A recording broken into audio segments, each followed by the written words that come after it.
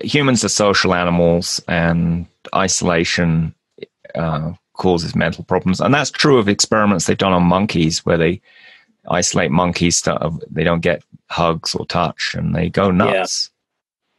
Yeah. Um, Cold Fusion Alive, the podcast for the Cold Fusion community. Discover practices, tools, techniques, tips, and trends for modern Cold Fusion development. Brought to you by TeraTech, the Cold Fusion experts. Develop, secure, optimize. Here is your host, the founder of TeraTech, Michaela Light.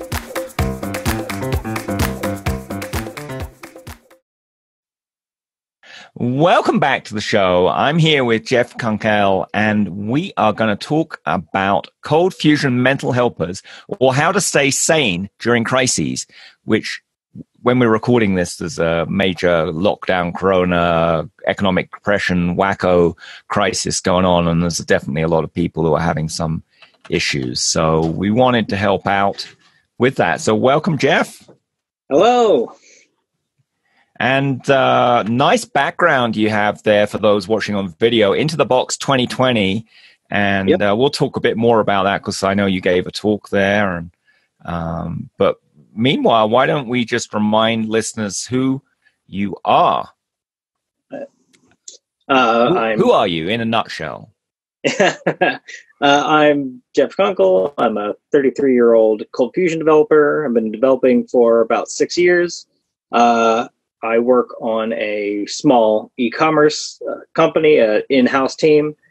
Um, one thing I I like to contribute to the cold fusion community, and I feel like my my expertise is higher in having meant like dealing with mental health than it is in cold fusion at the moment. So that's kind of where I've been focusing. So you've experienced some of these issues yourself in the past. Yes, absolutely. I, have been diagnosed with anxiety and depression and with uh, a mild uh, case of obsessive compulsive disorder. So it's. Uh, What's a mild case of obsessive compulsive? That means there, you organize your shoe closet once a year. it's uh, it's there was there was this.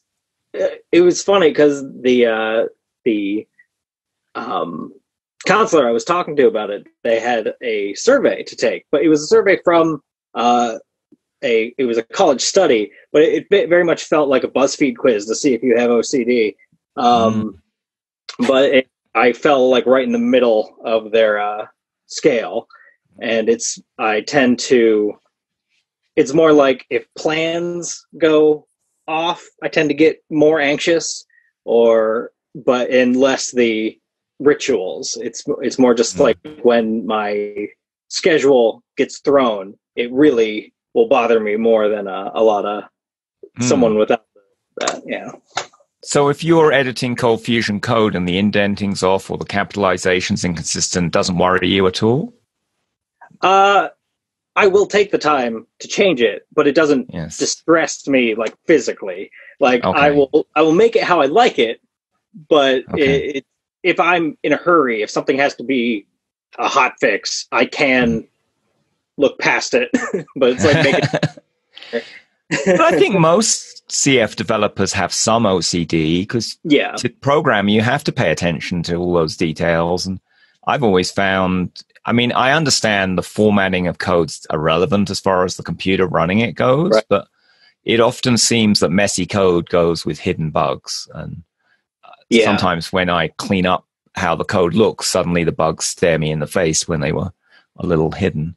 Sort of like the um, dust bunnies stare me in the face when I organize my shoe drawer. um, okay, we're talking about mental health in the yeah. cold fusion community. Why? Why are we talking about it today? Why now?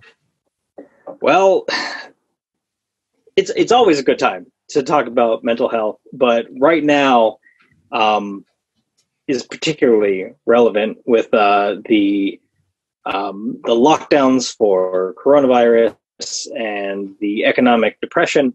Uh, like n- normally, we're looking at about twenty percent of Americans having uh, mental health issues. Uh, right now, twenty percent. Yeah, that means if you had hundred people in your company, twenty of them, on average, in a year, have a mental illness. Yes. yeah. It's, wow. Uh, but that's that's in the past before things went crazy. What what is it yeah. now? It's uh getting it's approaching sixty percent. So one in three wow. or two in three uh right now. Mm. Uh and it's reporting about thirty percent depression, thirty percent uh PTSD. Just it's a What's PTSD for those who don't know the acronym? Uh, post traumatic stress disorder. it, it is so a, that's where they're yeah, what is it? Tell us. It's an incredibly stressful time right now. Uh, so much is uncertain, and mm. a lot of people think of PTSD as something that happens like very far after. It, it can it can happen like days, weeks, like because when we're dealing with something like this, which is a very long uh, time period, it can you can have PTSD before it's over. Like. Mm. So this is during traumatic stress disorder or whatever the thing would yeah, be. Yeah, yeah. Um, and PTSD is something that people get from being abused or raped or um, yeah. being in a war is another common thing, or being fired from a job is another common cause of it, or being divorced, yeah. uh, death in the family. Those are all yeah, it's it's traumas. most often associated with like a big sudden traumatic experience, but mm. it, hmm. you can you can ha- suffer symptoms with things that are just very stressful over mm-hmm. an extended period of time. Also. Mm.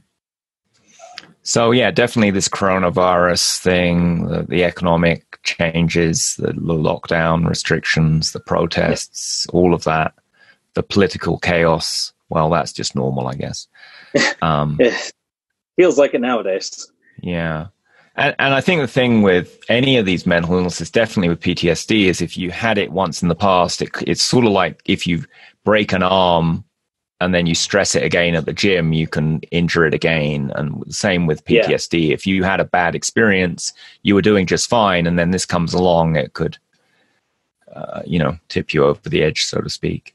Yeah, absolutely. So who who who should be paying attention to this episode? Because some people may be brushing off and saying, "Eh, I'm just interested in technical stuff. You know, all this mental health stuff. I don't want to have to think about it." But well, why, why is it important for every listener? We're looking to talk to people experiencing mental health issues, which is roughly 60% right now, but also people who interact and know people who are experiencing mental health issues. So, odds are, if you know more than two people right now, statistically, one of like uh, two out of three people are experiencing some sort of mental distress right now. So odds are, if you will fall in the second category, if you're not feeling it yourself, just someone who is interacting. So, so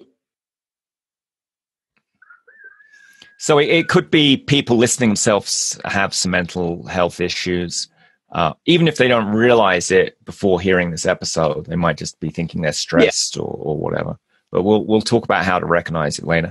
Or it could be people you work with, co-workers, teammates. Um, yeah. And anyone else who this is important to, who who's in the cold fusion community.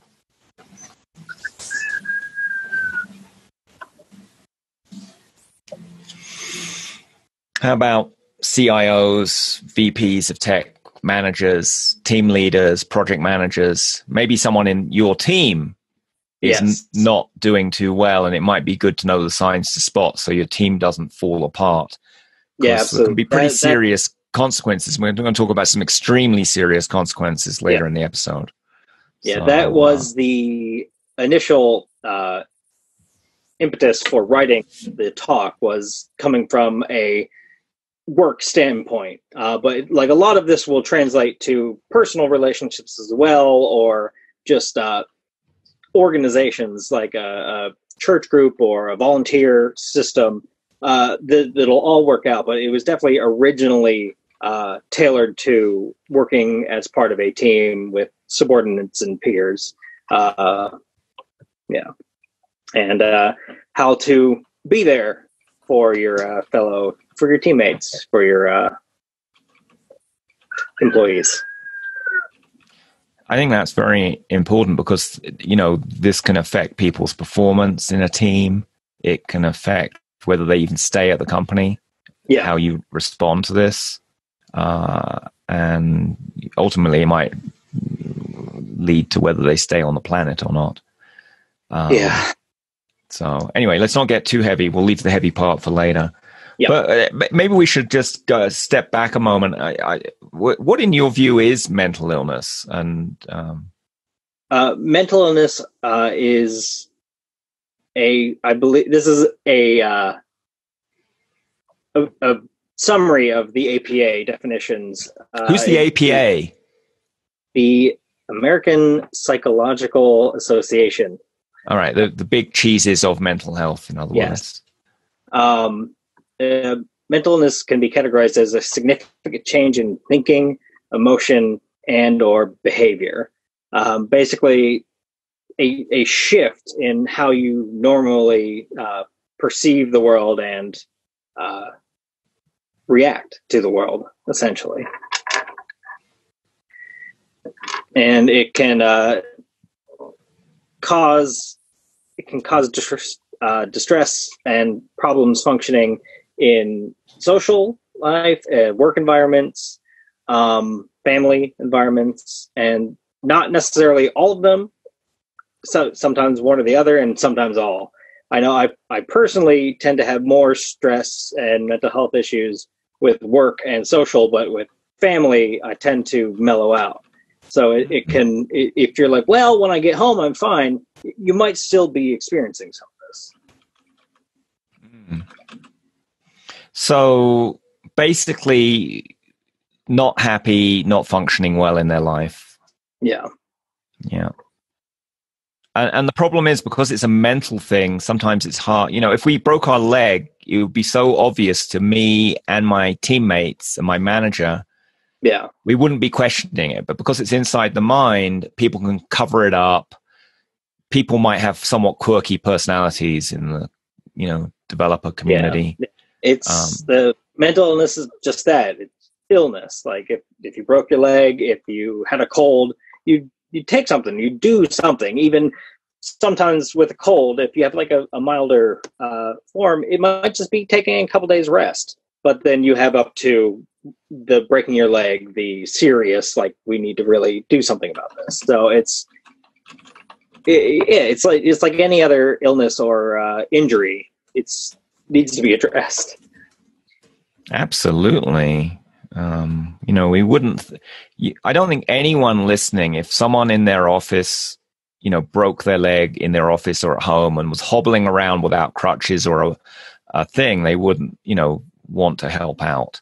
Yeah. And, and similarly, if someone broke their own leg, they wouldn't even dream of not getting attention. But when it comes to mental illness, that's very common that people don't recognize the problem or don't want to seek help because of uh, various factors that we'll talk about later in the episode. But maybe we should just, you know, talk a little about it. There's a lot of different kinds of mental illness. What are yeah. the different kinds, Jeff? Um, the the top two I really focus on in the talk are anxiety and depression. Um, but we also have uh, bipolar affective disorder, schizophrenia, and dementia in here because these are the top five reported uh, mental illnesses uh, in the United States at the moment. Mm. Um, depression. And that APA has some book with with hundreds of different oh, sub sub varieties of these things. But what exactly is depression? Because we hear that word bandied around. So many people take antidepressants. So.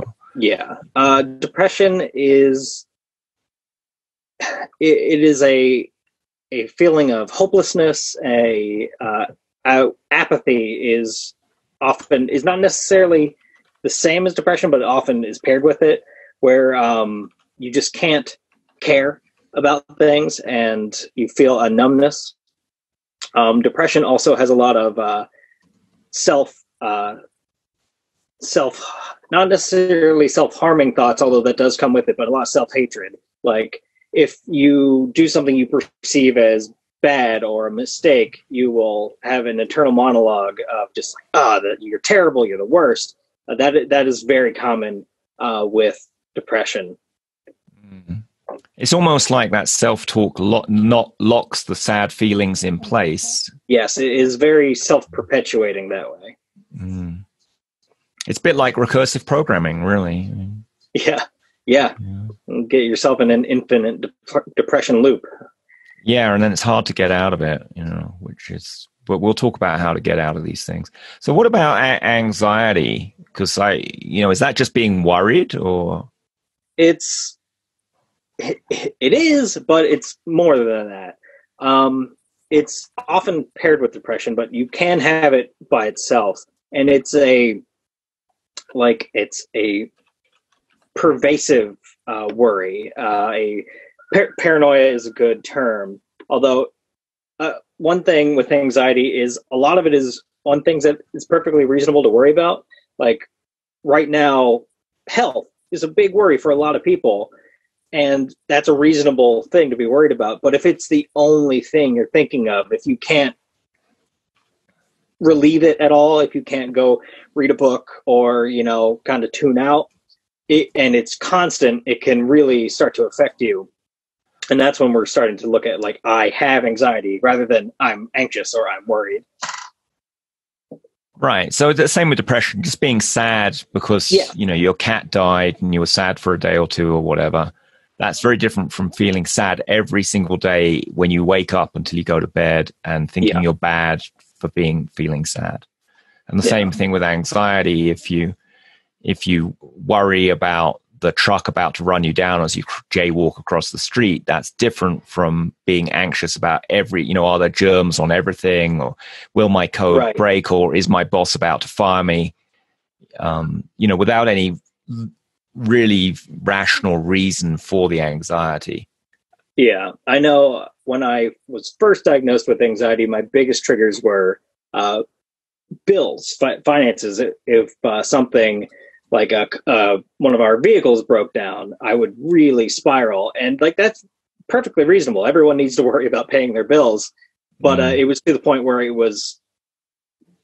I was getting so worried that I wasn't like performing well at work, which would make me more worried that I would be fired and not have a way to pay the. It just it it you can really if you don't step back and take care of it, you can you can almost uh, be a self fulfilling prophecy. You worry so much that you cause what you're worrying about.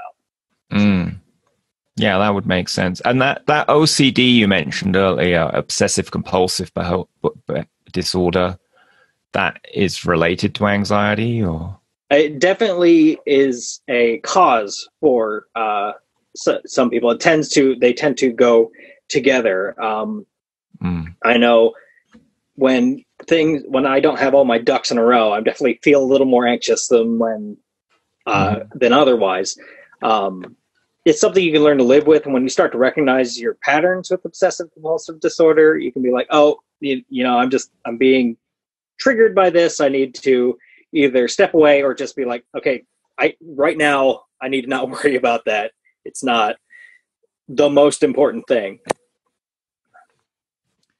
Yeah, and I think there's also I forget what that saying is about. You know, um, not there are some things we can take action on, and some things we can't, and things we can't, you just have to accept, and there's no point worrying about stuff. And, and this, this coronavirus is a perfect example. As on an individual level, there's probably not too much we can do to yeah uh, change that. You can take care of yourself, your family, the people in your house, but other than that, you just have to uh, you know trust that other people are going to take care of themselves too. Yeah it'll, it'll all work out okay eventually. Yeah. um right. Well let's talk about some of the causes of these mental illnesses. Yeah. Um some of the biggest causes are well the, the number one is stress. Uh, just mm. and it's it's very, very generic stress but that's you know it's if you put stress on a machine or a a limb it will it will break it's it's stress it's it's easy to separate the stress as in like bending uh, or breaking something versus stress, the, the mental stress, but it, it they're very very similar. If you put yourself under stress long enough, you you you can experience issues, and uh, and very very much physical issues as well, like exhaustion uh, and these these mental health issues. Um,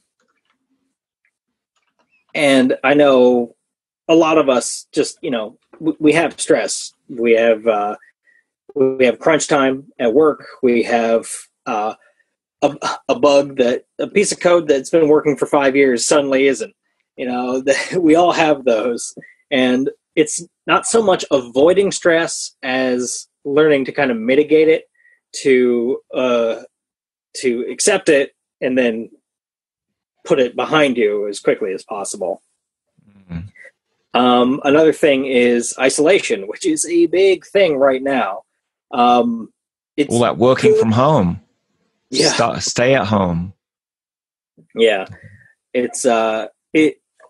Humans are meant to interact with each other. It's I think we're still very much the same, the same animals that were living in you know in tribes a couple hundred years ago.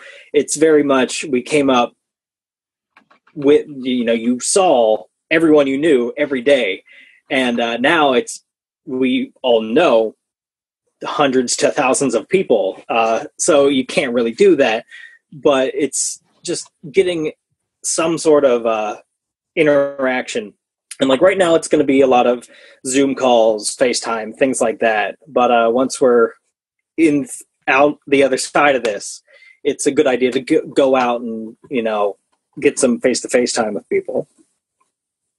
That would be good. yeah. um, and why? So humans are social animals, and isolation uh, causes mental problems, and that's true of experiments they've done on monkeys, where they isolate monkeys. They don't get hugs or touch, and they go nuts. Yeah. Um, so it's um, common. What what else is a cause of uh, mental illness? Uh, another one is uh, poor nutrition, and mm. like, I've never of, seen a, a cold fusion programmer has poor nutrition. What were you thinking no, of there? Never. What kind of nutrition would be poor? Um, a lot of it can be. I know, particularly in this, will pair with the next one, which is lack of sunlight. Is uh, vitamin intake. Um, mm. With a lot of our mental health issues are chemical imbalances. So when you have when you aren't getting the required ke- chemicals into your system, it can mess up your receptors. I know. Uh, I personally, I was severely deficient in vitamin D when uh, I was at my most depressed, and um, it's that that one really affects your uh, serotonin receptors, which is how you feel happy.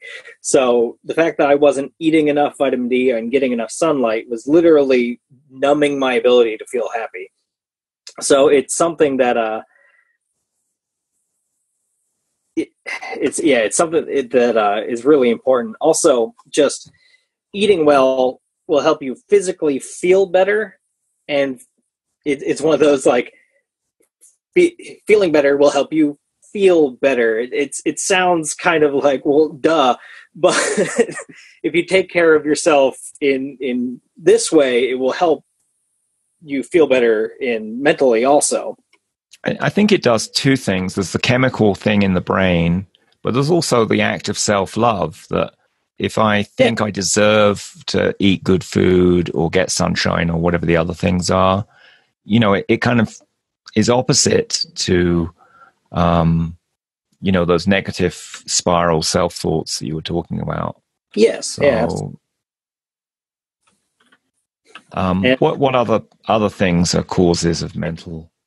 Another uh, big one, and this is this is where the the list starts to sound like I, am your mom. Like you need to you need to eat, you need to get sunshine, uh, but sleep and exercise. Like it's you need to it while mental health is described as like purely a mental thing, it's there are physical causes of it, and getting sleep and exercise, keeping your body in decent shape will will really help. I know one of the one of the best things for depression itself is exercise.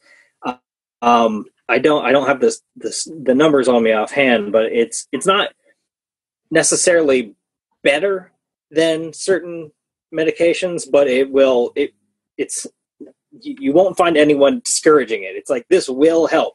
Like you might need additional helpers, but like they're hands down if you get into a habit of exercising and sleeping right, it, it will improve your mood overall.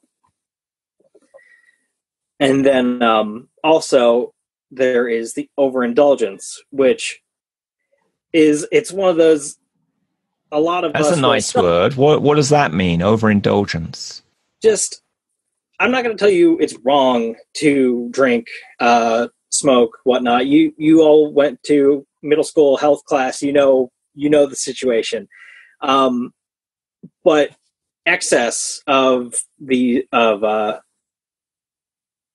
uh, mind altering uh, chemicals will well alter your mind to a point uh, it's easy to self medicate because you can just go to the grocery store and pick up a six pack. Yeah, I don't have to see a doctor. I don't have to listen to anybody else. I can just go do that. But, and maybe if you're just feeling stressed, that's fine. But if, if it's a pervasive thing, if you always go to that and you're feeling it every day, it can start to compound on itself and it's just like I, I won't tell you what to do. I'm not your mom, but if if you're feeling these things, these symptoms, and you're indulging often, th- there could be a correlation. It's just something to kind of keep at the back of your mind of like this might be a cause, or it, if not a cause, it's it might not be helping as much as it feels like it is in the moment. Well, I, th- I think a few things there. First of all, is the chemical effect of whatever you're overindulging in, whether that's mm-hmm. alcohol or marijuana or other drugs or prescription drugs or um, or sugar for that matter. That's another common overindulgence that some people yep. use to deal with mental illness. Um, anyway, there's a chemical effect on the brain, and, and I've read a book whose name escapes me right now, but it had they did MRIs of people's brains who'd been on cocaine or alcohol or nicotine mm-hmm. or whatever the drug was, and they actually were different. And in some of the cases, some of these drugs there were like Swiss cheese holes of of non-firing neurons in the brain, so it, it can cause you know a shift in in how yeah. the neurons fire in there. And then secondly, there's just the the addictive behavior which kind of ties into the OCD stuff. I, am sure everyone has had or does have some addiction or another, whether yeah. it's one of those, you know, physical chemical things or it's online shopping or watching uh, porn or um, yeah. playing video games or, you know, social media, clicking on, you know, whatever. I think um, that that's one that will be in a, a, couple decades we'll be looking back on. I think the social media. That's yeah. the the one that's it's still it, it's like it's been around for a while, but it's still so new that we just don't know how it's affecting us. Like, do you, do you think there'll be a time in the future where you you go to get your social media and they'll ask for an ID to check your age? Man, you, you know you. I wouldn't be surprised. I, I doubt it'll go that way, but there could be like we're we're already uh, seeing time limits being not enforced but encouraged uh, mm. for social media and certain things, and I think that could be something where it's uh, almost it, almost like it's socially not acceptable to drink all day every day. It'll start to be socially unacceptable to be on social media all day every day, like mm. because it really can affect you, especially during uh, times like this when it's constant negative news, con- constant uh, uh, stressors. It really is. I know I personally had to set uh, Twitter aside because I would be checking just the trending hashtags, and it was never good news. like the last three months, it has not been good news for three months. So mm-hmm. it's one of those just like just got to leave it be. Uh, now that's interesting because that's a piece of Twitter I never have ever checked and have no inclination to check. Uh, I, yeah. I just look at what friends have posted, and I have friends with a lot of CFers, and I just keep up with CF news and yeah, and that, things I think are cool. Uh, the better um, way to um, use it. But the, these platforms do have deliberately, you know, addictive pieces to them. And, oh, and I think just the general point on it, how do you know it's an addiction is do you feel good after you've indulged in it? And with social media, I know I usually, after more than half an hour of it, I feel crappy. When yeah. I used to drink alcohol the next day when I had a hangover, I felt crappy. Um, you know, when I ate too, when I used to eat sugar, I gave sugar up last year. Um, for partly mood reasons, you know, but also to lose weight so I could fit in cuter clothes. Um, yeah, more power to you there. I definitely I had cut out most sugar before the stay at home, and I've definitely mm. fallen off the wagon a little now. And it's mm. one of hmm. the like I'm personally going to kind of be doing a reset on that uh, yeah. start very soon. Just like I got to get what I have out of the house, and then not get any more. Like yeah. Um, so anyway, with all these addictions, if you feel bad after the activity or the next day, that's an indication that there's some addictive stuff going on there. And, and yeah. often they use to cut, you know, like you said, self medicating, also covering stuff up, um, coping strategy. So, um, or, or dealing with boredom's another one. You know, a lot of people yeah. have great difficulty dealing with boredom. And so they will check Twitter or drink a beer yeah. or smoke a joint or whatever the thing is. Because often with boredom, the anxiety or depression thoughts percolate up. Um, anyway, and, um, yeah, and now now is a great time to decide you're going to learn to knit or something because it, it, takes a very a very similar thing. You can kind yes. of your, it's very me- mechanical, but then you yes. have something done. like yes, it's productive or or programming. You know, yeah, okay. another potentially productive activity.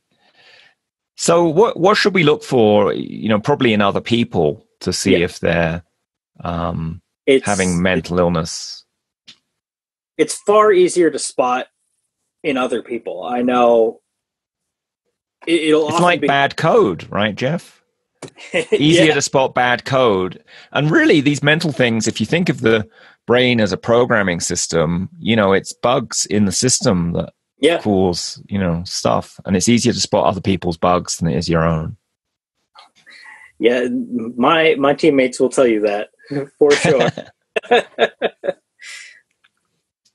but uh, things that that you can look for uh, is someone has be- become more withdrawn than they usually are. Like someone who's normally mm boisterous, very um, participatory will start to kind of sit back and just listen or not listen even just kind of close off. And, um, and if they're in person their eyes are glazed over. Yeah. Literally. Yeah.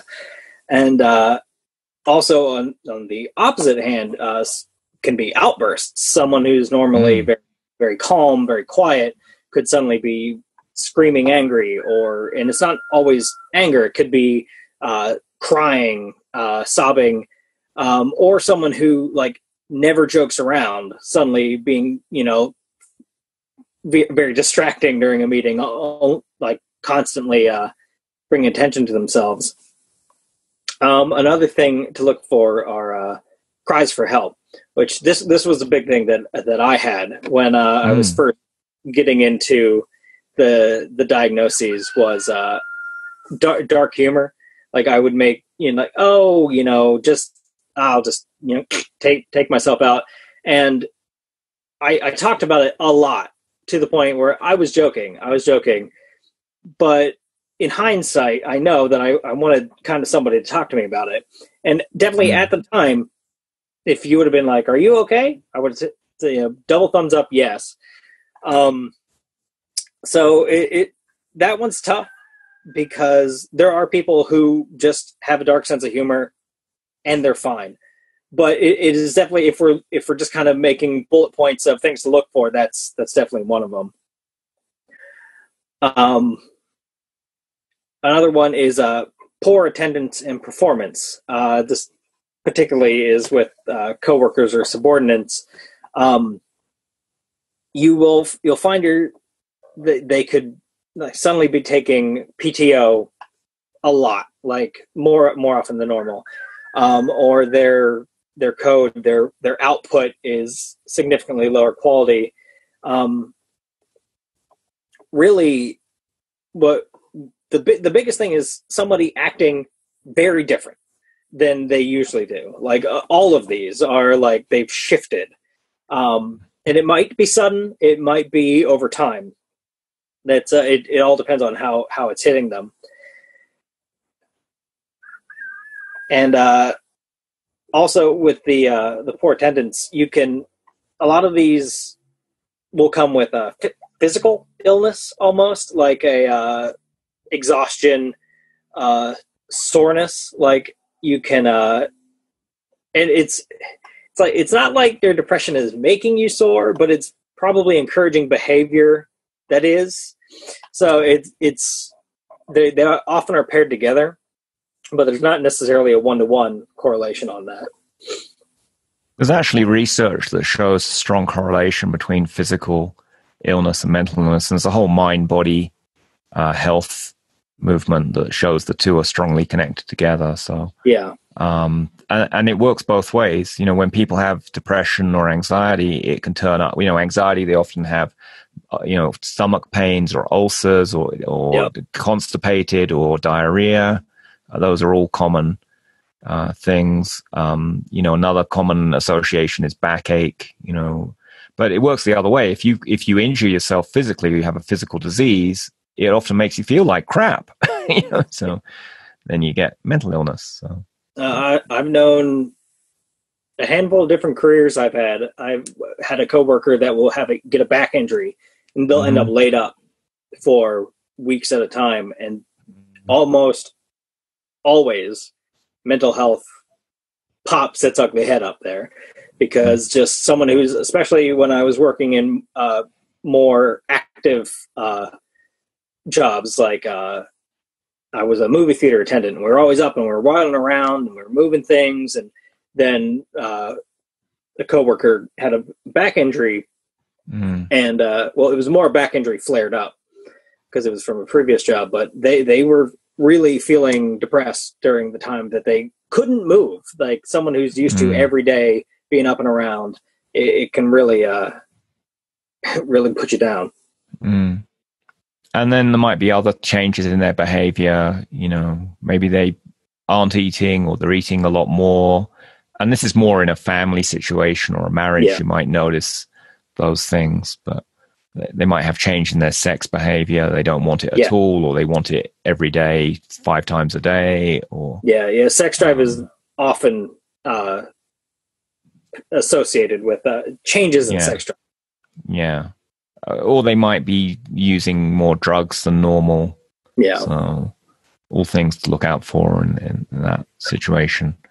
Um, you know, I, I, didn't say this earlier, but when you were talking about the um, causes of mental illness, it sounded like the stereotypical ColdFusion developer stressed, work alone, they don't eat good. They're always eating Twinkies or whatever.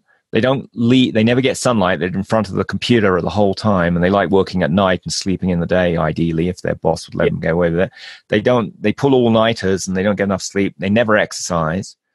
And then they overindulge in, you know, this, that, and the other, you know, mainly things like sugar and Coke is the more polite yeah. way. But, you know, a, a, lot of people do drink alcohol or smoke a lot. Mm. Uh, yeah, it's, a develop, developer is is a very primed uh, career for a lot of these. Like you get, like you said, it checks every box, and it's one of those that a lot of it you're not going to be able to prevent. Like stress is part of the job, but again, it's uh, taking uh, taking time. Uh, one thing that can help a lot is uh, setting boundaries for yourself. Uh, it's like, hey, I, I need I, this weekend. No, no working on the weekend. No working after five p.m. W- whatever's you know convenient for uh, your situation, your team. But it's yeah, that's it's it's one thing I love and dread about giving this talk at uh, tech conferences is it, it is it's like the the portrait of everyone sitting in the room is the uh, the list of causes of mental health issues. I mean, just to da- dramatize this, I think everyone recognizes that people who, who are in the military and have gone into some war are at serious risk for mental illness yeah. and PTSD or suicide or whatever. But we don't think of people going into a ColdFusion programming career as being at serious risk of mental illness, and perhaps we should. Yeah. You know. Yeah, a lot of uh and it doesn't mean it's inevitable that people who program right. are going to have these things. It just means we need to be more aware because there's more risk. It's a risky yeah, it, profession, you know. yeah, it, there is like a kind of a societal feeling that in order to have mental health issues, you have to have literally been put through some truly traumatic uh, uh, experiences. But a lot of it is like the slow grind. There's like mm. the the the slow wearing away can cause this as well. And I think just as we talk about it more, people open up with their personal experiences be like, oh, well, if if they're feeling that, then may, maybe what I what I'm feeling isn't so um, strange. Because like we were talking earlier, with up to sixty percent of people reporting mental illnesses right now, that sixty percent with with two things clinical depression or PTSD. Um, but the other 40% right now probably have some low level anxiety or yeah. other apathy or whatever going on. You know, yeah. there's usually a, there's a, a, what do you call it, a scale or a spectrum of depression, for example, yeah. you know, can go from listlessness to like, you know, suicidal thoughts.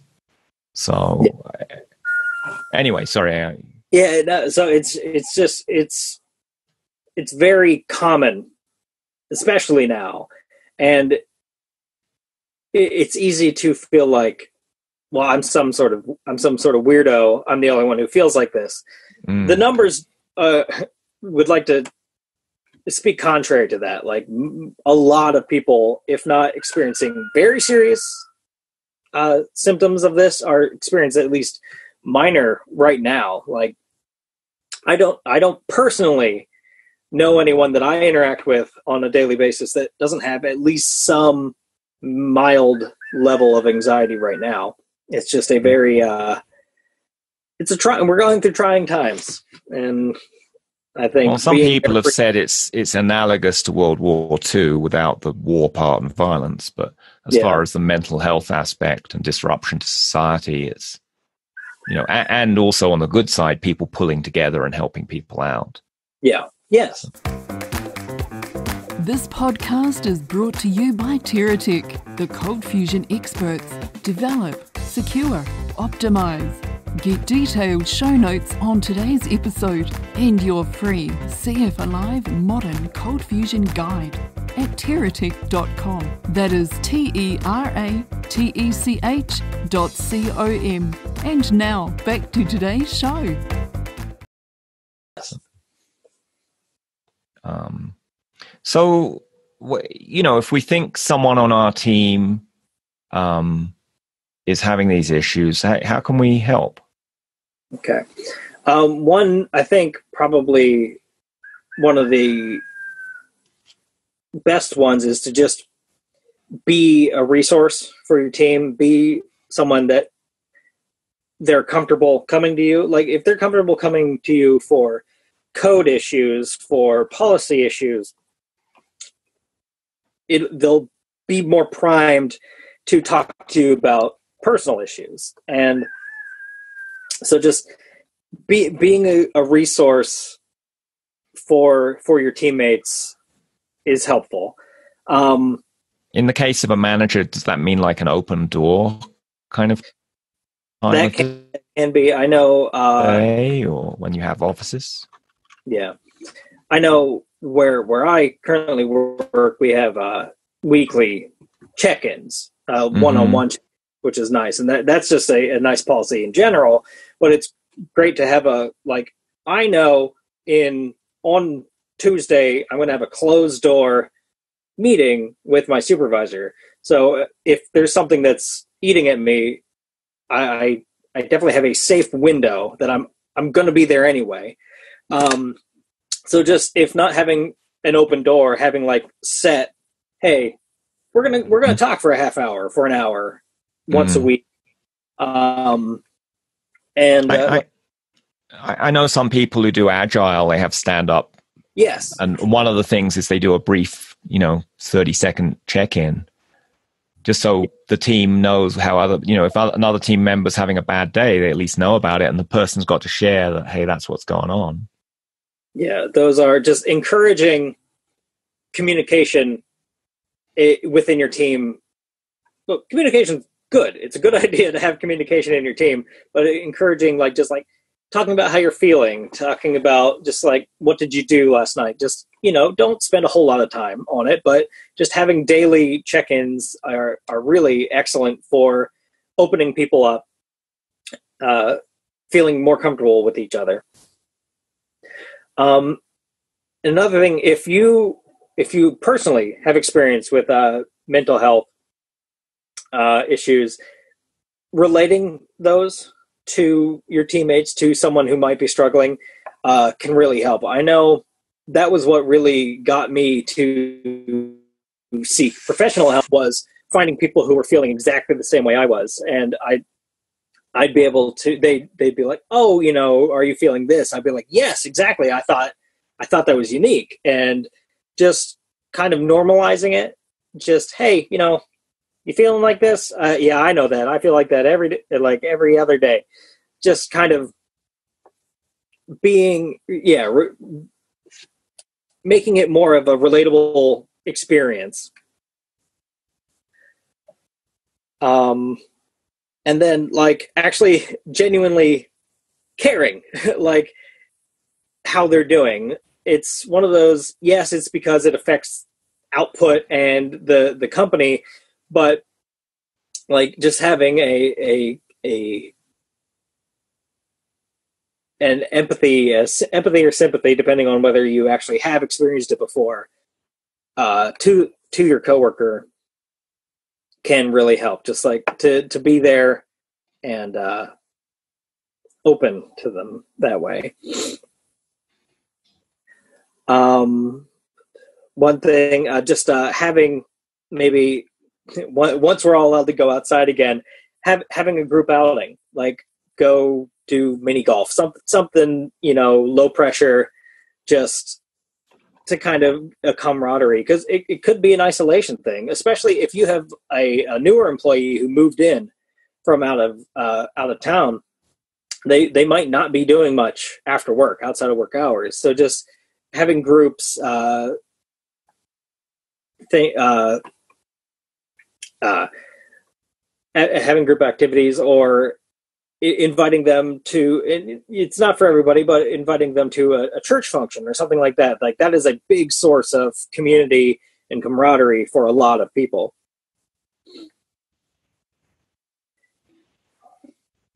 Uh, another thing is to make reasonable accommodations. Uh, mo- most of most of most developers have a lot of, a lot of flexibility with their schedule but just making sure that if they're looking to seek professional help that they, they can work that into their hours that it isn't a detriment to them in the company that they're looking to help themselves.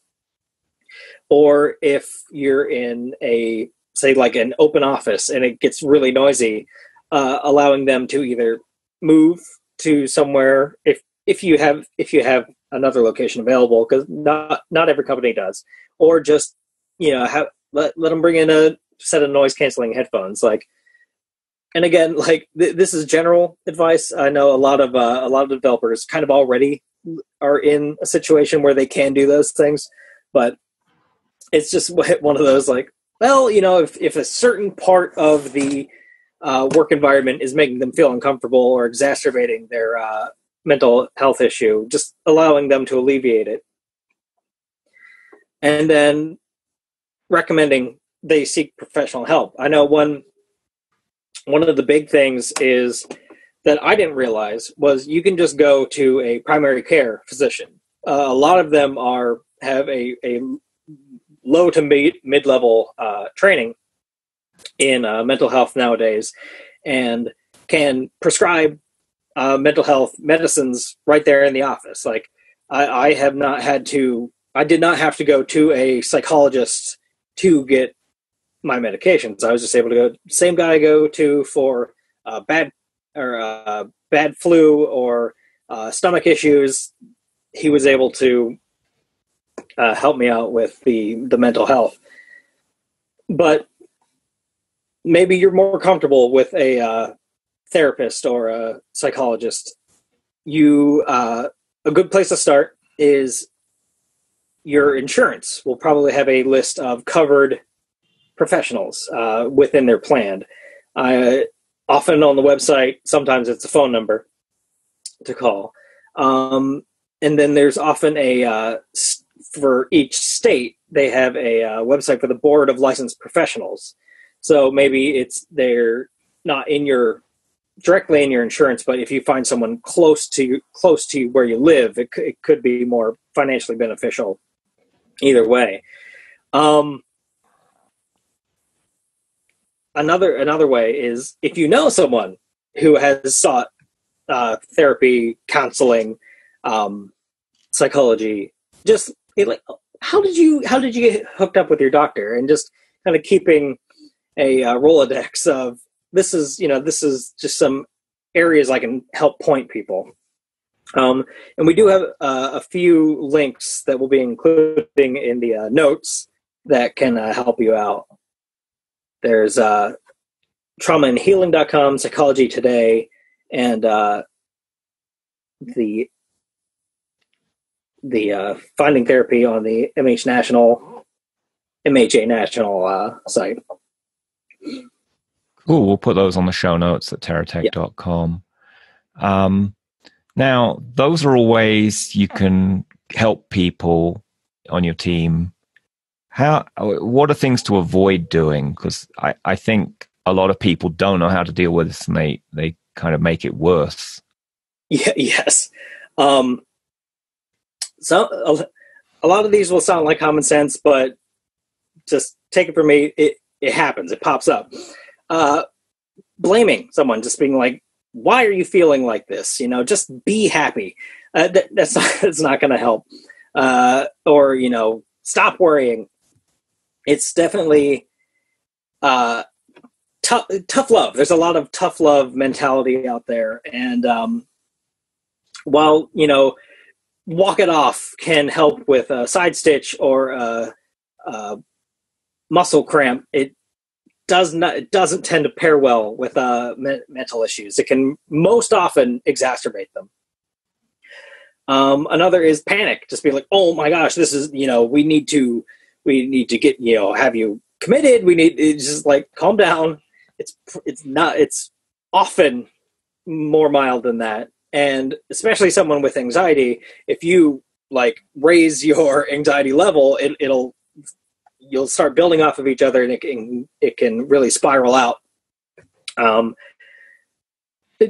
diagnose uh you probably we we can make educated guesses on how how people are feeling but the minute you're like you have this problem it, it's it's very finger pointing as i'm talking with my hands here and it can it can be put off. It, they uh, people can be felt like they're being analyzed kind of uh coldly if you're like you know i think you have this and you should do that just kind of more empathizing and just like talking in how you're feeling and not clinical terms as far as this goes. Leave the the clinical terms for the professionals. We're we're looking to to help. We're not looking to like solve. It's uh it's a fine line because you want their issue ultimately to be solved, but more often than not, it's going to have to come from them to do the the solving. Um, and there's also another thing that we should avoid is excuse poor performance. And that, that sounds counter to something we said earlier where you need to be accommodating. You do. But if if you if you're accommodating and you've really put yourself out there to help them and they're not making an effort to improve, it's it's a it's a it's a job. Like you, you signed a contract when you started. It's uh to, like when we're not in crazy corona depression times it's 20% of people are that people make it they work they work with this um, a lot of people have like a lot of these mental issues they don't just go away it's just something you kind of li- uh, learn to adapt to and if if you've if you've made every effort to help someone to guide them towards a uh, a professional, it, it, might be time. Uh, hopefully, you have an HR department or someone above you that you can like begin to then go down that road. Um, but it might be to the point where you are the person who has to decide, and it's it's never going to be easy. That that is going to be particularly difficult. But it, it's you can't you you can't let the, the team fail because someone wasn't willing to uh, help themselves. Um, another thing not to do: make light, joke. Uh, it's mm. this stuff because a lot of people with mental health issues, I know myself included, will make jokes, uh, will make light of it, and that's that's a good way to kind of blow off some of the tension that comes with uh, with mental uh, mental health issues. But the minute you start joking about them, being like, "Oh, Jeff, he's crazy," it can it can really just yeah maybe this that crazy word's not a good word to use no has a lot of loaded um, yeah there's a yeah and that that like words like crazy it even ones that sound silly and fun bonkers things like that that can just it, there's a lot of shame associated with those words and you just mm. want to avoid them like just it, joke about something else. It, it's just maybe maybe the person is fine with it but if not it's a it's a big risk to take honestly. If if you think someone is suffering to to joke about it is yeah maybe it, maybe it helps them blow off steam but if it doesn't it, it's really mean essentially mm-hmm. and that doesn't mean it's okay to make jokes that are not about their mental illness and help, try and yeah. help them you know yeah levity a helps a lot uh, just yeah. joking but like maybe don't try try not to make them the butt of the joke mm-hmm. so what are some pitfalls with you know trying to help people out. Yeah this there there's a reason there's some stigma around this because it's not easy. Like if you if you if you've decided that you're going to try to be someone people can go to with mental health issues at your company there it's gonna it's something you're taking upon yourself. It's definitely there are difficulties.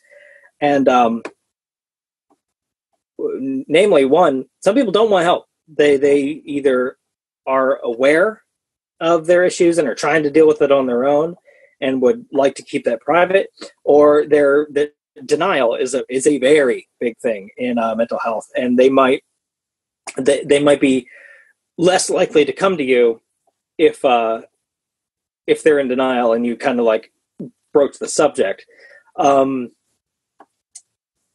it's it's ideally you've created an environment where they can come to you with something like this but it might be you you want to you want to tread very lightly if you're uh if you're bringing it up first. Just like things like how are you? You know talk to me about you know you, you seem a little down. Don't be like i think you're depressed because that coming right out of the gate you can really uh you can really uh push people away. Um and it can also be very uncomfortable. Like some people, like a lot of us have mental health issues because of just kind of the daily grind, things like that. But especially with uh, things like post traumatic stress stress disorder, it you might be biting off a little more than you, you can chew. Some people's uh, you need to be ready for like some some real horror stories sometimes and maybe just to to be comforting and then kind of move them towards pro- professionals earlier uh, when it gets to that situation. Because like yeah it, it, can get dark. Like a lot of this especially with depression can get very dark. Um, anxiety a little less so. That's more more your your worries but depression can be depressing uh, what do you know I think anxieties can be anxiety making. If someone talks extensively about their anxieties, it can be catching. Yeah, yeah, absolutely. But um, yeah, and it's just it, there's a lot of uncomfortableness around mental health. Uh, just mm. having a mental health issue is uncomfortable. It's like inherently uncomfortable. It's what your emotions not behaving the way you're used to, you're supposed to. Mm-hmm. And then to, so, so there's uncomfortableness having it and talking about it and just being with someone who's experiencing it. They can, they, people with mental health issues, people experiencing stress can be a cause of stress. It's, it's very tough. Like, well, I, I think just in general, a lot of people are not good discussing emotions in general, whether they're yeah. you know dark ones or light ones. You know, so you know that EQ, emotional intelligence, is something that a fair chunk of developers, you know, by by default, have pretty low EQ, and yeah. you know a lot of us work on improving that. And anyone who wants to shift their career into working with clients more or project management or team leading or other higher areas of management definitely needs to work on their emotional intelligence and how well yeah. they communicate and how well they can deal with these things. And uh, and being okay with being uncomfortable is part of that. Yeah. Um any other pitfalls?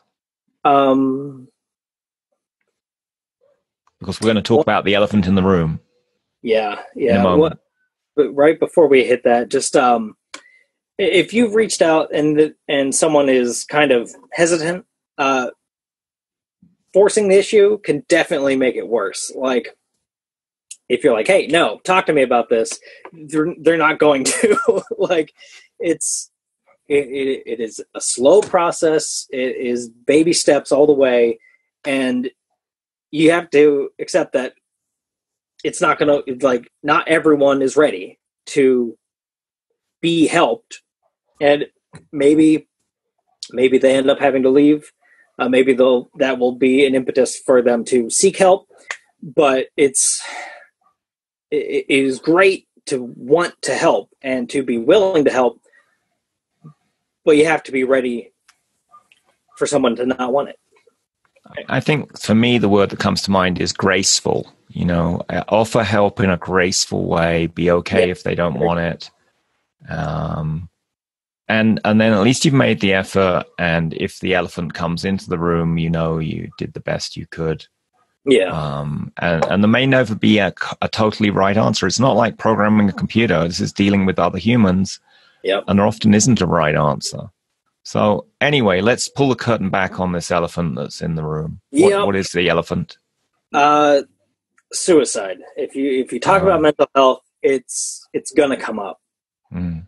Um, suicide is the tenth leading cause of death in the United States and the second in uh, thirty year olds, uh, male and female.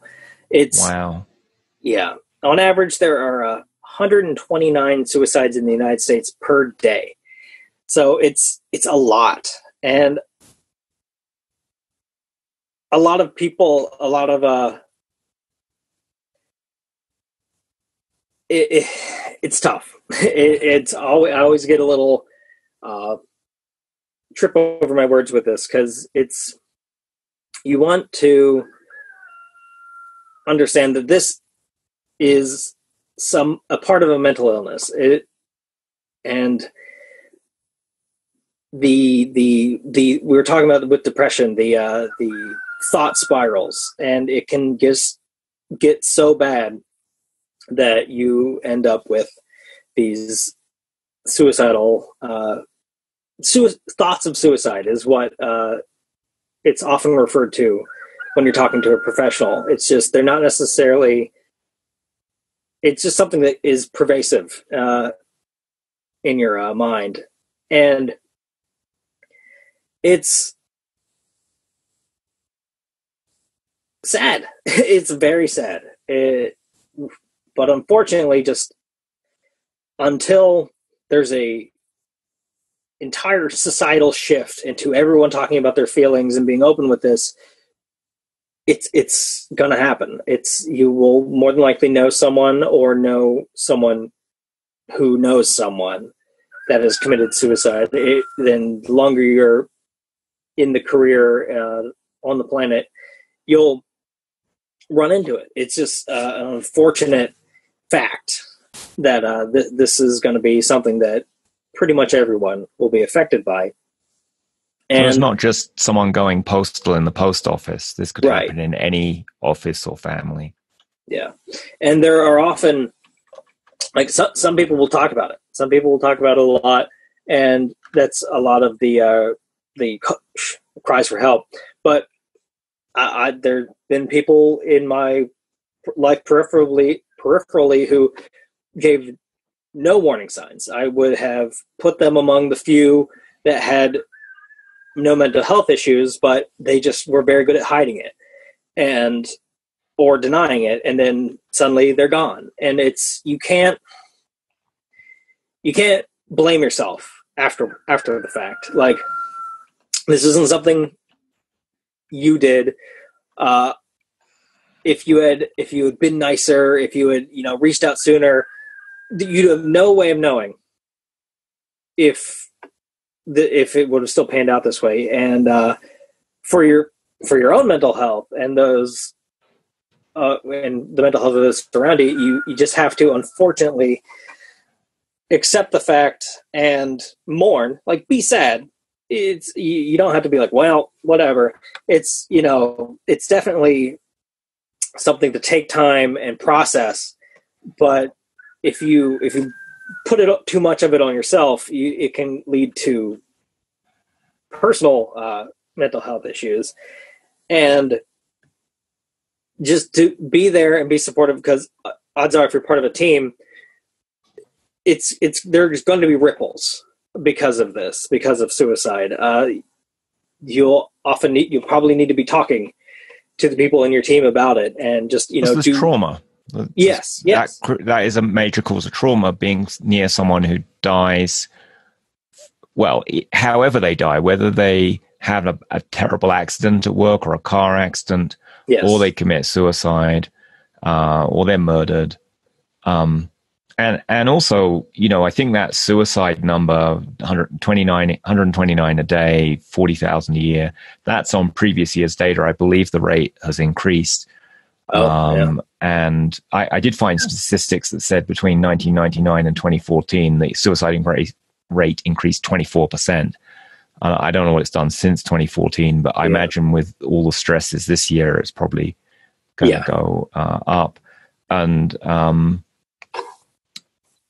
and and just I'll just throw in the other statistics I found, and I'll put the link uh, to the site I found them in. But Yeah. as well as forty thousand actual successful suicides, there were one point four million attempted suicides, and then there were additional self injuries, which I don't know if that's cutting or some other, you know, uh, attempting to relieve the pain. And, and I think suicide. I mean, I've never committed suicide, no, I don't intend to, but uh, Right. I have had suicidal thoughts uh, once in my life. I didn't like them. I decided that wasn't what I was going to do. But you can get into that loop you're talking about in depression, where it's you, you kind of in this recursive loop, and it's hard to see any other way out. Um, but I think some of the suicides are pain relief. You know, they can't see any way to escape, and this, Yeah. this seems to be a way to stop the pain they're feeling. Yeah. Um, it's a lot of a lot of the things we've talked about are preventing suicide just normalizing the the talking about your feelings the mental health issues just having someone appear that knows how you feel can really help the feeling uh, the, the feelings of pain the feelings of being alone. If you know someone that is finding a way to cope outside of suicide, it, it gives uh, it, it very much is a light at the end of the tunnel type situation. Um, it's just like, oh, th- there's multiple ways to deal with this. It isn't. It, it can be, and mental health issues can be very isolating. You can feel very, very alone, and that that will exacerbate the uh, thoughts of suicide. Unfortunately. Yeah, it's um those stress, you know, those causes of mental illness we talked about early, earlier can uh, do that. So yeah, if you if you're concerned someone on your team or you yourself, uh, you know, is suicidal, you really do want to do an intervention. Yeah. Um, because it's so final, you know. I mean, if someone's depressed and they can get therapy or, or do whatever they do to get better, you know, at least they had a bad patch in their life, but they got they got better. But with Yeah. once they've committed suicide, there's not really a lot you can do. Yeah. And suicide attempts are not good for people people's either their mental health because there's a lot of lack of self worth after someone's tried to commit suicide and died, and they couldn't even succeed at committing suicide. Right. Yeah. And then physically, often the means depends on what mechanism they use to try and kill themselves. But taking drugs, for example, often can cause really bad physical uh, side effects. Yeah. So yeah, you can end up with a per, uh, an additional permanent issue that is just going to make it harder to get over get over the initial causes. yeah, and, and you know, I just want to say that suicide count may not include people who I, I don't know what quite the right phrase is, but constructive uh, accidents or killing. So they they have a car accident and yeah, it probably was suicide or or what do they call that? Suicide by cop shooting you is another Yeah. frequent thing, which is terrible. Yeah. Not just for the person who dies, but it's terrible for the cop who shot them because they have to go through. They get trauma. They have to go Yeah. through it. They have to go off work. They have to go through all kinds of counseling. They have to prove that yeah, it was justified and it really you know that's a profession that has a very high mental health uh, Yeah. issue and a high suicide rate itself partly because of the stress and partly because of the access to firearms so um, Yeah, and uh, we talked about overindulgence. Uh, sometimes just s- stopping limiting yourself can be a form of suicide. If you just mm, party yourself into a suicide, it, it it's a common way to go. Unfortunately, yeah. Now I, I did an interview on the podcast with jorge reyes uh, about suicide. So i'll put the link to that episode in there where he talks in more detail about it. He had a terrible experience where he taught a ColdFusion training class. Uh, everyone was happy. There was this guy in the class who you know seemed totally normal. Uh, the monday after the class killed himself and yeah, you know um, very sad situation. Anyway he he gave a lot of resources and, and help and thoughts on that. Yeah, but um, let's all take a deep breath. Yeah. let go of that heavy elephant in the room. Um, let's turn to self-care. You know Right. how can we prevent this um, in ourselves? Yeah, it's uh, the biggest thing is practice what you preach. Uh, all of this advice that we've given you to give to other people, do. it's uh, it, it's, and I know I am not I'm not perfect. I'm very much do as I say, not as I do. Um, but I'm getting better. Like I'm definitely sleeping more than I used to. I'm e- eating better. Well, maybe not the last couple weeks, but how how does one know if if one has slept enough that you really can go by the the standards of the you know seven eight hours but like it's something everyone needs to find for them for themselves because there are definitely people who can who can go on less some people who need more. Um, i think it's a it's kind it's tough because it's it's almost a gut feeling thing. Like if you have a a uh, an exhaustion during the day. Just a if you're feeling yourself be foggy like a lot of these can just be mental health symptoms themselves. But so that's one of the reasons if you if you get yourself enough sleep and have clarity there it can help uh, you get through some of the other things. It's it's t- it's it's tough to quantify but it's definitely i think as you as you get older as you get to know your body you get a good feeling for when when you've slept enough but it's you'll know. I mean, one, if you're falling asleep, like I know uh, there was a period in time where I worked on instead of a chair, one of the the exercise balls because I was falling asleep in my chair. And if you fall mm. asleep on an exercise ball, you end up on the floor. So that that was the time that I needed to maybe sleep more. I, I think part of the problem is America is chronically sleep deprived, and it's a badge of honor among many people to say, "Oh, I only got so many hours sleep last night." Yeah. So I lot- think there are. I think many people don't even know what it feels like to have had a good night's sleep. That's very true, and a lot in the um, entrepreneurial, the uh, tech, the Silicon Valley types where like I slept two hours and got this much done today. It's like, yes, but how long until that that catches up to you? Uh, you can really burn yourself out and uh, mm-hmm. lead to a lot of what we've talked about today. Mm-hmm.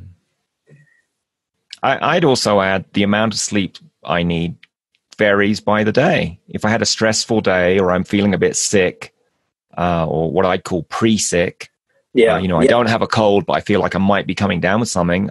If I want to avoid getting sick or avoid having mental health issues, I go to bed earlier.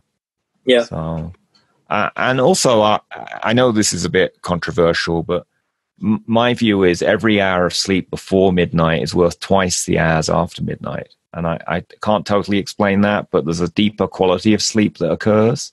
And yeah. once the sun is up in the morning, um, I know for me, I, I tend to have you know less deep sleep. I know it's uh, what is the term? C- circadian rhythms. Like uh, mm-hmm. it's we evolved to you know it gets dark, you go to sleep. like it, it's very much our bodies are still built that way. Before electricity, things like that. So it's I don't know. Well, don't how you test that, but it's one of those like if you kind of go with the flow of the day, natu- uh, like naturally with, uh, mm-hmm. and it's a lot of the uh, the blue light after, yeah, yeah, that kind of stuff. Like blue it, it light does. after dark. I mean, that's yeah. why I'm wearing these. These are not prescription glasses. These are, yeah. you know, they're just yellow sunglasses. And somewhere here, these are the people on video. I've got, you know, these are my nighttime blue blocking glasses. They're red yeah. and they really make a difference. I used to have difficulty going to sleep. I go lie down in bed and my mind would be going round and round. And since I've been using these in the after dark, you know, when I use the computer yeah. or phone or whatever, um, it's a lot easier. Uh, a lot of for, uh, a lot of devices have added a like a a, I believe Apple calls it night night shift, mm-hmm. where it'll shift the tones on your your screens mm-hmm. to cut the blue back. So it's it's something that people are becoming more and more aware of. And, yeah, I have that feature turned on on all my devices. I will tell yeah, you the glasses are two or three times more effective than that setting. Yeah, yeah, because they and also and it's not just the it's not just the screens; it's the fluorescent lights or LED lights that we have these yeah. days. They give off a lot of blue light. So uh, and TVs, of course. Not that I watch yeah. that anymore, but um, yeah anyway, sorry, you, you were saying other self care things before we went on the sleep tangent. Uh, and I will just to, before I come off that, for people who are sleep deprived, the one place where people often, two places people often do get enough sleep. One is when they're on vacation, and they, and just think how great you feel when you're you're away on vacation, assuming you're not like getting totally plastered with alcohol or whatever. Right. But you know, if you're able to get a good sleep and you're not worried and what have you. And the other time is when they're sick, you know, ironically. So yeah. Obviously, obviously, you don't usually feel great. You're getting all the sleep when you're sick. But, um, yeah, I know what you spend all day in bed and then the next day you're like, it's a miracle. I feel better. Sometimes it's, you do feel you're not sick anymore, but you've also gotten sleep. like, yeah. Um, what other also, prevention self care? Yeah. Uh, the eating eating right. We talked quite a bit about. Um, just be aware of what you're eating. It's it's very easy to um, kind of mindlessly eat and do something else. I know I like to separate myself from work. Like I had a bad habit of eating at my desk, and you you tend to eat things that are quick and easy, and a lot of those tend to not be so great for you. But like nowadays, I will go and I will take the time. I will make. Uh, uh, I'm vegetarian, so I make a big salad, and I'll just go mm. and kind of just do that. And um, that tends to help keep me honest as far as eating good food is if I am focusing on the eating itself. Um, another thing is sunlight. Uh, we talked about the vitamins. Uh, getting getting your nutrition, getting sunlight, uh, even just taking a, a multivitamin uh, can help. Like, uh, and I personally, I'll take a, a men's multivitamin and then a additional D vitamin, and it's it, it, it does help. Well, I feel better all in all when I'm taking those daily than when I'm not. And then uh, also it, accept help from others. Like it, one of the biggest things, if you, if you want to be helpful to other people, is recognize that you might need help. Uh, it's because all of these things, uh, denial, being uh, pushing people away for this, you may very well be doing it yourself. It's I know I did. I, it's one of the some of the biggest hurdles I had to get over in my journey to seeking help was just kind of like being open to it. So let's talk about the thing that's going on a lot right now, which is new for a lot of people, which is working from home. Because yep. that can lead to a lot of mental illness if you're not prepared for it and not used to being isolated or the opposite of being isolated, maybe you're stuck with your spouse and your kids yeah. more as of the day than you care to be. You know, yeah. I know that sounds a bit mean, but like, you know, it's, you, you it get, be stressful. Yeah, uh, we're we're animals of habit. Like if you're if you're used to like I spend this amount of time with these people, I spend this amount of time with these people. As soon as that's thrown off, it can it can really uh, mess up your uh, your your just your mood, your stress levels. Um, so one thing, and the, these are things that you, you, a lot of people have been floating out there, but I, I, like to put them in this talk just because it's very relevant right now. But um, when you're working from home, treat it like you're going to work. Get, get up, have your breakfast, shower, get dressed. It can help keep you in some of the schedules you're used to. Um, if, if at all possible, uh, have a separate work area. Uh, I know a lot of us are like remoting in, like with LogMeIn or something like that. So like the computer we relax on, we might play a game on, is the same computer we're working on, uh, and that mm. can just the mixing of relaxation and work can start to stress you out when you're trying to relax or relax you too much when you're trying to work. So it's it's a big ask for some people to be able to move, like either move their machine. Uh, the laptops are very for, uh, very convenient for this if you can like take it to another part of the house. Uh, and assuming you have another part of the house, not all of us are uh, uh, so lucky. But uh, that that can if you just have be, a if you have a garden, work for half an hour in the garden can be great. Oh yeah, or a park if you, if you're allowed to do that. You know? Yeah, so yeah, depending on uh, where you are. I mean, I've worked for, from home for the last ten years, and um, I'm quite happy just being wherever I am. But I know a lot of other people who do this, and they love going. They they can't do it now, but they used to like going to coffee shops or go outside. Um, like you're saying, have a place where you go do work. yeah, there are definitely some more unique challenges to working at home currently than uh, than generally. Uh, another thing is limit distractions. Um, that's a lot of us are home with family, and just talking to them off the clock and just being like, "Hey, I am working." It's like this. We're going to need to kind of setting. We talked about setting boundaries earlier. Is it's very pertinent to this. I, am fortunate in that uh, my my partner is also in the tech field, and I have my my daughter is ten, so she she she wants attention, but she understands that it, we need to you know separate. And I will I'll I'll do like five ten minute breaks every hour, just touch base because you know it, it helps them too to have connection especially with schooling being online right now. But uh it's just like try to because and do it when you're off the clock have the conversation because if they if they come in and they're distracting you and suddenly you blow up at them like go away! That it's it's not going to be great for the uh, the mental health of the the house so it's just try to get out ahead of as many of these foreseeable issues as you can uh, um, and one thing uh, you still have FaceTime with uh, colleagues. Like a lot of us are doing Zoom and uh, uh, Google Meet and things like that. It's becoming very prevalent, and I just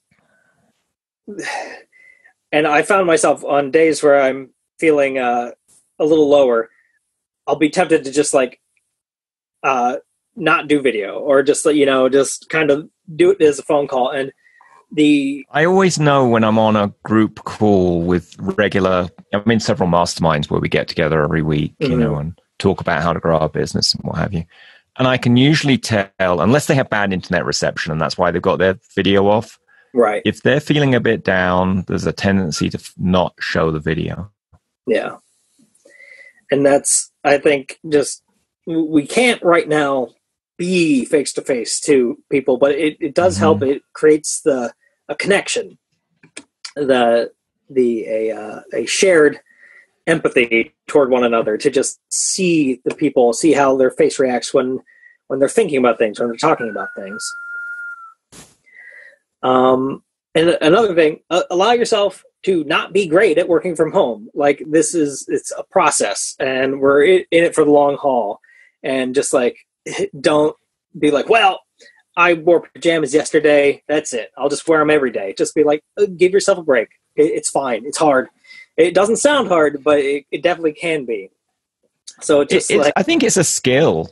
You know, being yeah. able to work well from home is a skill, and uh, the people you know i think a lot of people i know who who were working in offices their dream was to be able to work from home and not have to commute and not have to deal with that all that office politics and other stuff and not have to wear a suit and tie or yeah what have you and yet when it turns up it's like oh this isn't as easy as i thought it would be to yeah. stay focused and productive and not get depressed or uh, what have you so yeah, it, it, I, I, think it, be at home it's, but it's not easy to get work done at home. Yeah, and um,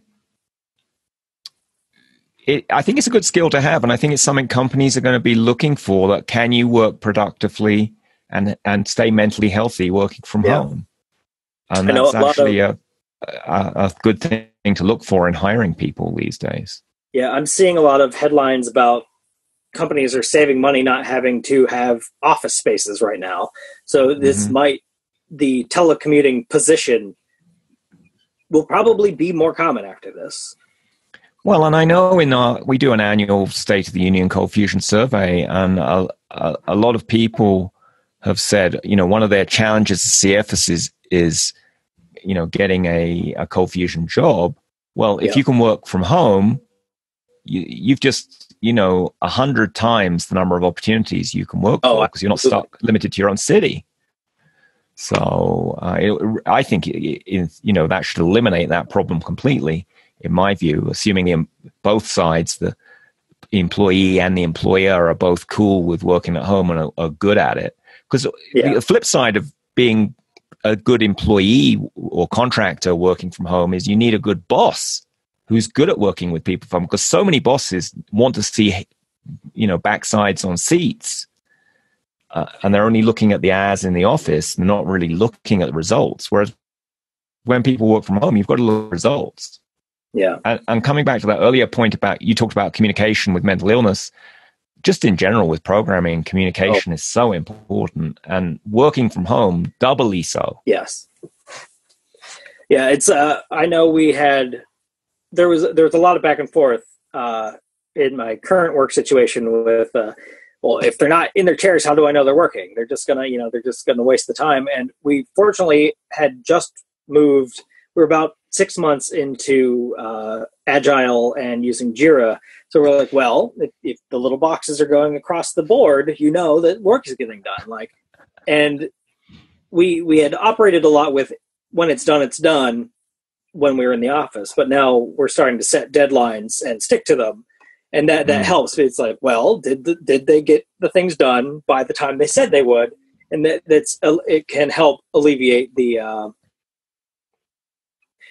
it, it's it's a lack of it is a lack of trust, but it comes from a like a reasonable standpoint. Like they just they want to know that the the money they're spending on their employees is being spent well, and it's just kind of you have to develop the trust between you and and your supervisor, and just be like, you know, I, I will work because it not not everyone does.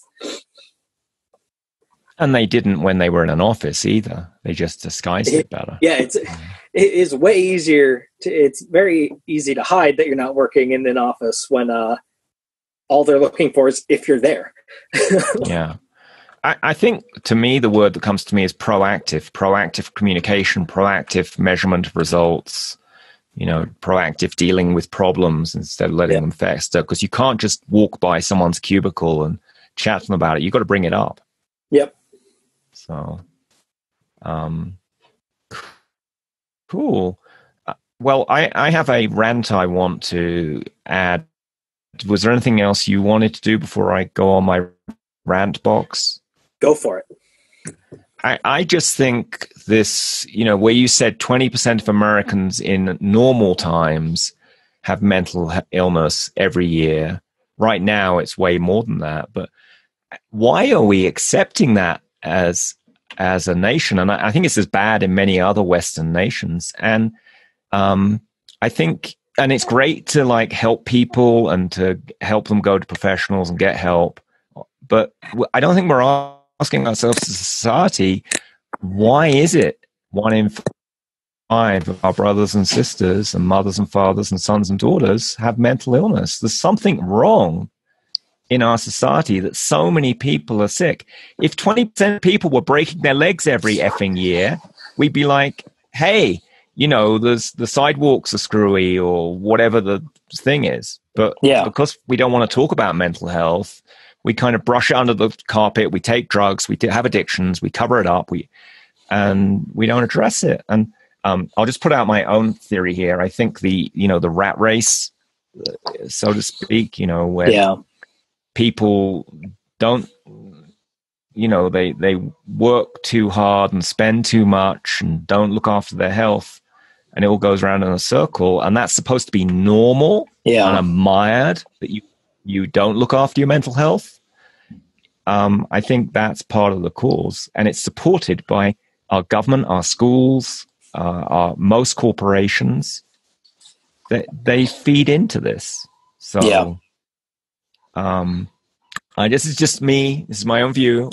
so, but I think it it affects the ColdFusion community. You know, I've oh, yeah. known people who've committed suicide. I've known people who've been depressed or anxious. Um, so I myself have had anxiety or OCD, and I've had mild depression. Mm-hmm. So it's uh, definitely I've definitely seen it in my staff there needs to be a a massive shift in how we all treat ourselves and each other. Uh, it's going to be it, it's going to be one person at a time. Uh, unfortunately, it's we're not. It's probably not going to come from the top down. Um, just because the, the, people never know, there might the t- be a special tweet from our fearless leader. Yeah, it changes everything. But I, yeah. you're probably right. It probably requires everyone yeah. to figure it out. Yeah, it's well, we, we can hold, hope for that, but it's probably going to be more productive to just one on one do your best and help each other out. Everybody bring each other up. I, I think if everyone listening to this episode took some small steps to on their own mental health or helping out others or recognizing it and if if it's within your power to shift some small part of of how your work operates um you know then or, or share this episode if that's uh you know another way to do it or some of the resources then mm-hmm. that that can slowly shift this thing. But it's a deep uh, society. Um, you know, to give a metaphor, a, a, programming flaw in the way society is set up. Um, yeah. You know, if if American society was a ColdFusion server, I would say that um, it hasn't had an upgrade on the ColdFusion or the OS for years. The code yeah. itself, the programming that people are put through at school is flawed and has bugs in it. The machine doesn't have enough, you know, RAM or, or hard disk space and it's kind of pushing the limits. Uh, the whole computer is overclocked to the point where it's burning out. And yeah. it, it needs a reset, like you said, and it needs some re- tuning and, and refactoring in the code, if not total rewrite as yeah. to what we think a normal, a healthy society is. And maybe that's something positive that's coming out of this these changes this year. That, ironically enough, yeah, the year is is 2020, and in eyeglasses, 2020 is clear vision, and yeah. maybe we're getting a little clearer vision about some of this stuff that is not the way we want to be there's definitely you could definitely consider this a uh, a hard reboot on a lot of our daily processes like yes all right got off my rant box got that off my chest thank you for sharing that yeah no um, absolutely um I, I and i try to do what i can in my own company and and to, to not follow that programming of the rat race. Yeah. And I know other people do that in their companies or in their teams, you know, as best they can. So, or in their families, you know, it's another yeah. place people do this. Yeah. In, in the last uh, few years of talking about mental health and things like that at uh, ColdFusion conferences, I, I more, a lot of people will come up to me and just be engaged in the topic. And that's, that's great. That's excellent. And um, some of it is like, oh, I never, you know, never thought I'd hear something like this at a tech conference. And some of it is like, I'm, you know, I think about this all the time, you know, so it's just getting it out there, getting it public is great. And um, I just, I, I love, I love talking about it. It doesn't sound like a fun thing to talk about, but it, it can be cathartic just to kind of exercise it out, just like just to find fellow human beings that have experienced this stuff. Well, part of it's being okay talking about this stuff. Part of it's having a language to talk about it with. Just imagine if, if you were trying to work on coding something and you didn't have a way to describe variables or the different kinds of variables or database fields and you, you had to kind of fumble around and add on top of that you were ashamed to even talk about programming how would you ever solve bugs or get anything done? You, you yeah. wouldn't. You wouldn't have healthy programs. And the same thing with mental health. If we don't bring it out into the open, if we don't have some language to talk about it, don't have some frameworks like you were saying, regular check-ins or you know whatever right. things are, then how can we expect this morass of rat race crap to ever get cleaned up? Because it is like crap out of the rat. The big rats of the rat race are pooping the yeah mental health of of the citizens. Yeah. All right, let's give a disclaimer. I know you you wanted to say this earlier, but I held yeah, it back to the uh, end. uh, disclaimer that I'm not a doctor. this is all. I'm not just, a doctor either, and I don't play one on TV.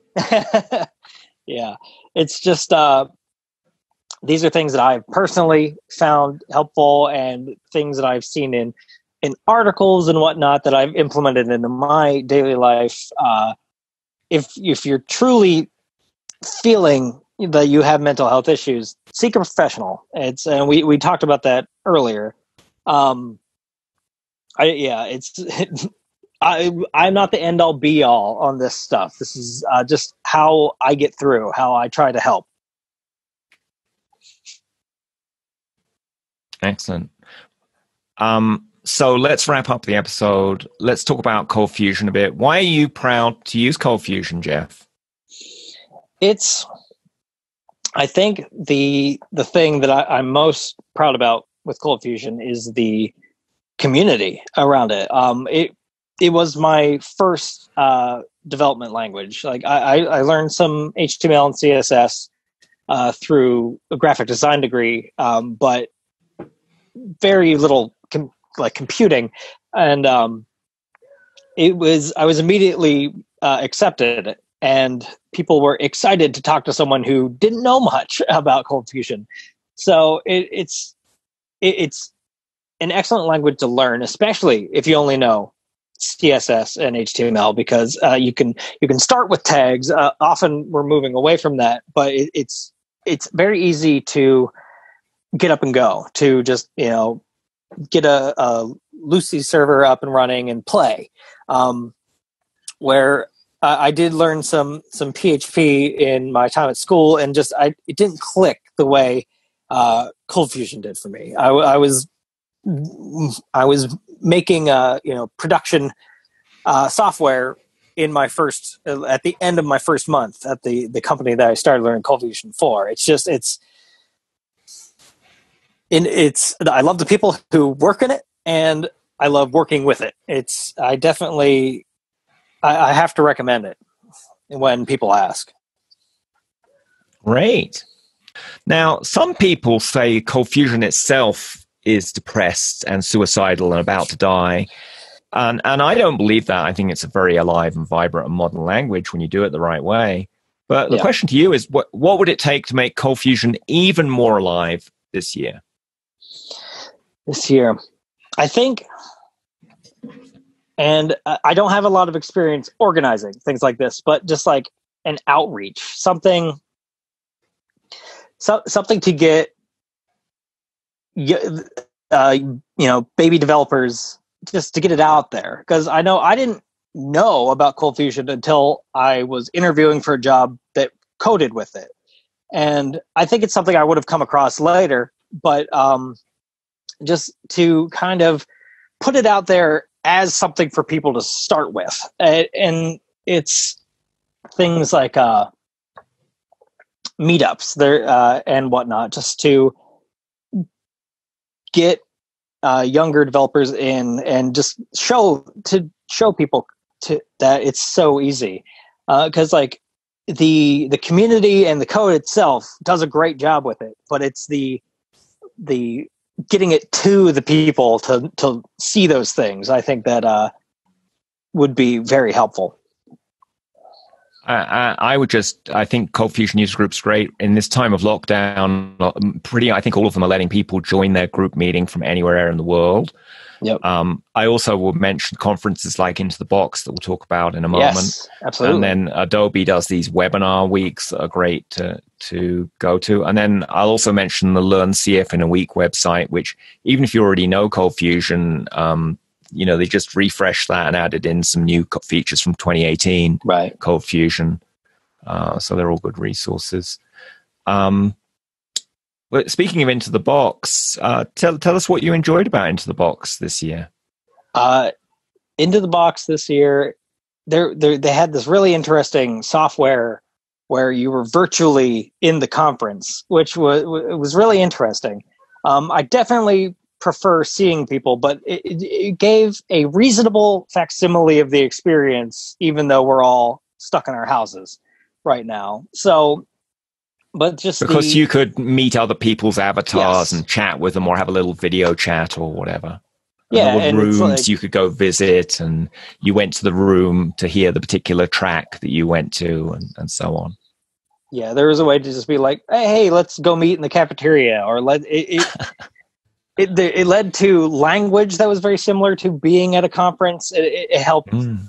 feel like you were actually there, and uh, it's always like the the information that's there is excellent, and um, the fact that they record everything is great because I will often find myself going back and uh, searching through the talks that I've been that I that in previous into the boxes and be like, I think we're gonna we're gonna implement continuous integration this year.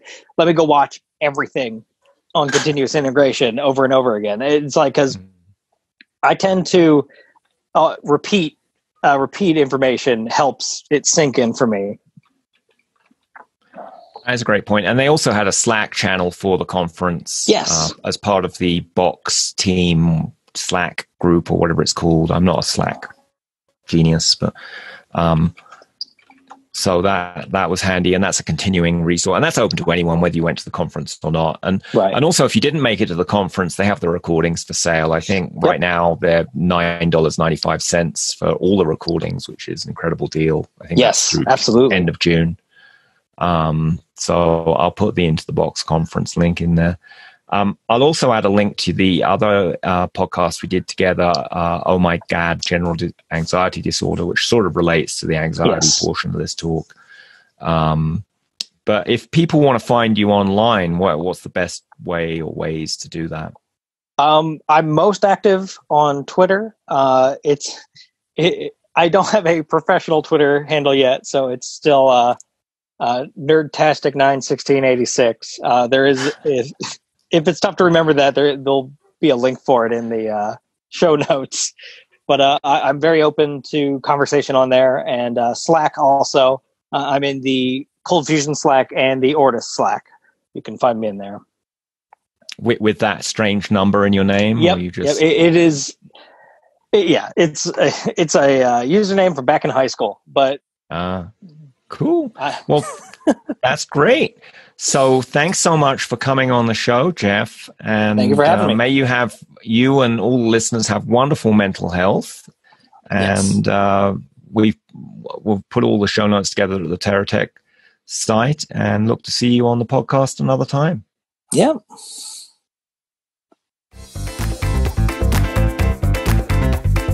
Detailed show notes on today's episode in your free CF Alive Modern ColdFusion Guide at teratech.com. That is T E R A T E C H dot C O M. Viva la CF Alive Revolution!